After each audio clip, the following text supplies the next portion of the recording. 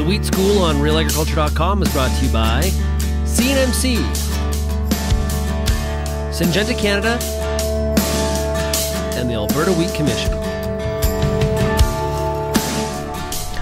I'm Kelvin Heppner for Real Agriculture, and uh, we're joined by Anne Kirk, the cereal specialist with Manitoba Agriculture. And Anne, there's certainly been lots of interest in plant growth regulators, especially this year. We've had ample moisture in the first part of the growing season, and as a result, uh, there's an opportunity to potentially apply PGRs. What do we need to keep in mind when it comes to, I guess, the basics of applying a PGR in Western Canada?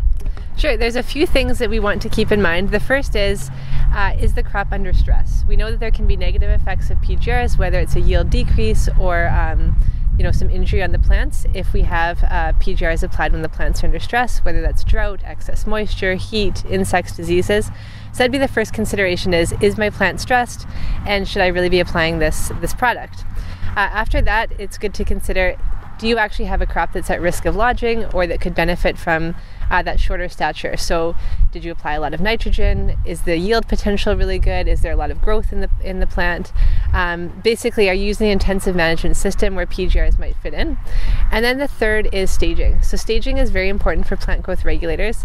We do see the best effects of plant growth regulators when they're applied at the ideal timing, which is uh, between growth stage 31 and 32.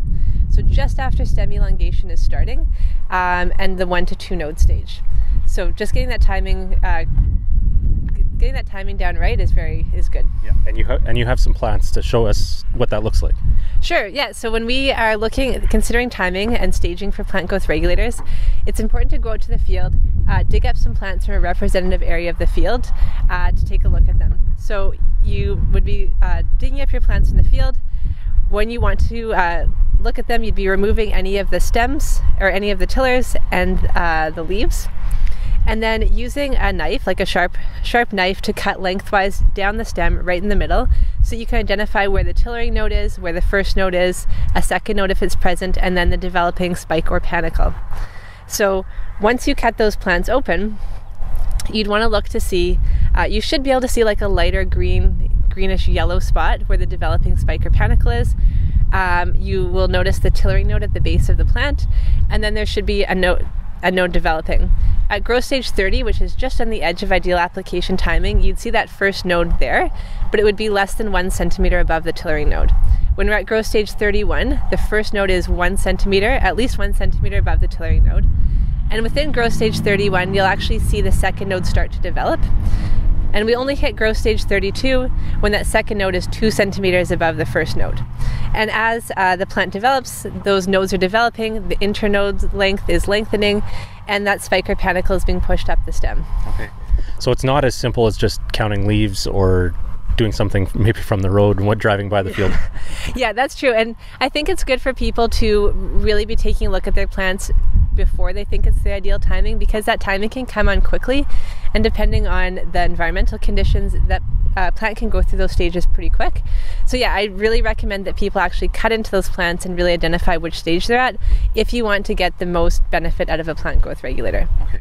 So we've had pgrs in western canada now for a, a few years. What have we learned in terms of the injury that can happen from a pgr and, and the factors that contribute to that yeah, so there have been reports of people having crop injury uh, and some reports of yield decreases due to plant growth regulators.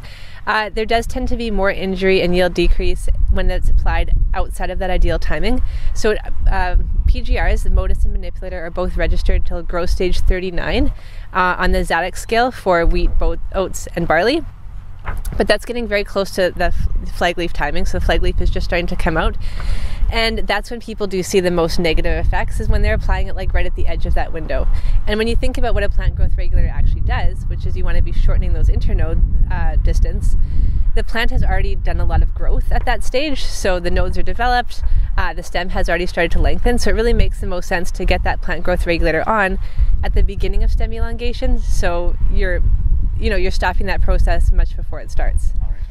Any other tips then for growers when it comes to applying PGRs? Yeah.